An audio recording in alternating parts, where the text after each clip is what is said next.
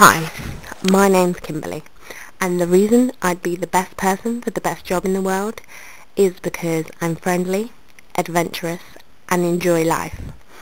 I always like looking for new culture and new experiences within things. Um, this job would give me the opportunity to explore the Great Barrier Reef, a species of fish that I've never seen before, observe other cultures that I've never even dreamed of I could see, and the opportunity to communicate with a wider public, um, being able to experience new things firsthand to pass this information on to other people would be a great opportunity for me.